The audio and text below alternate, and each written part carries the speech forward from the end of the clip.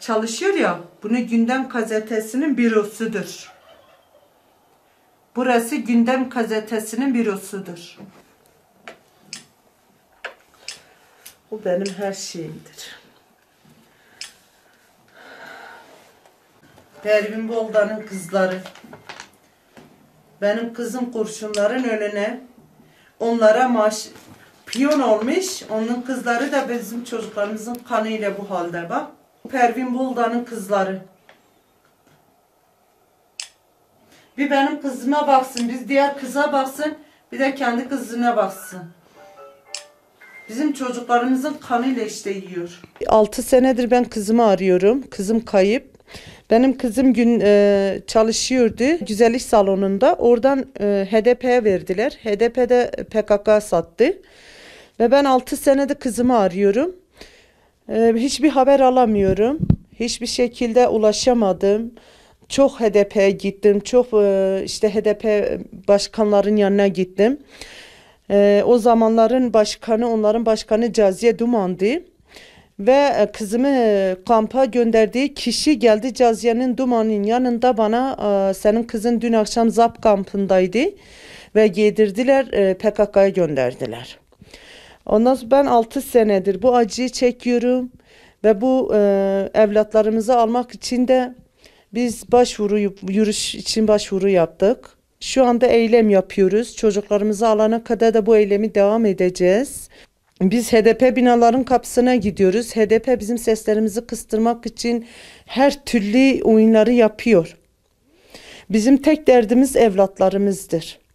Ben 6 senedir bu evladım acısıyla yaşıyorsam peki onlarda ne vicdan var? Ne, ne şekilde mesela ben kız çocuk 17 yaşında 17 yaşında. Yani onlara ne faydası o? Benim kızım hasta. Ben kızımı HDP'den istiyorum. HDP benim kızımı PKK'ya nasıl teslim ettiyse aynen öyle bana versin. Benim kızım hastadır onların işine yaramaz. Ha çok istiyorlarsa çok mesela HDP'ye düşkündüler gitsin kendi çocuklarını versin bizimkileri getirsin. Bizim eylemimizi işte yok devlet sizi parayla satın almış. Devlet bu aileleri parayla hiçbir devlet hiçbir devlet bizim evlat acısını parayla satın alamaz. Bunu kimseye gücü yetmez. Çünkü evlat acısı o öyle bir közdür ki ölünceye kadar yüreğinde yanıyor. Ben kızımı istiyorum. Ben kızıma sesleniyorum. Kızım korkmasın. Hiç kimse o tehditlere, o korkuya boyun eğmesin. Gelsin devlete teslim olsun ceza da yok.